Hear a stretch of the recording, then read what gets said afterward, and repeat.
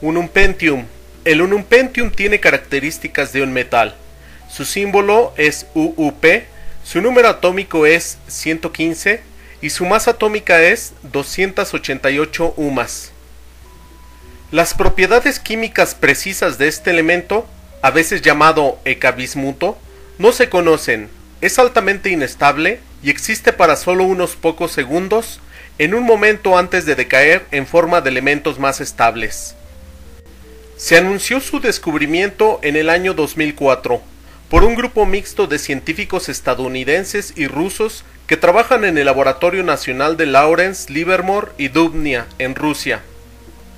El Pentium fue producido sintéticamente bombardeando un isótopo de americio con calcio, produciendo unos pocos átomos de corta duración que sobrevivieron lo suficiente como para que los investigadores confirmaran su presencia.